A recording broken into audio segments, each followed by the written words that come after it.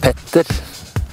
Petter Ja, det er i hvert fall ikke noe hemmelighet at eh, han er en vims, da.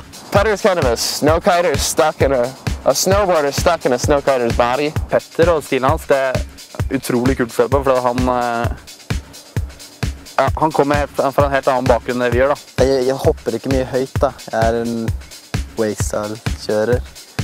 Hvor jeg får inspirasjon fra er på en måte wakeboard og Han er veldig dyktig på å kjøre kicker og, og rails. Det er liksom hans greie. Der, er han enestående og får det til å se skikkelig, skikkelig bra ut.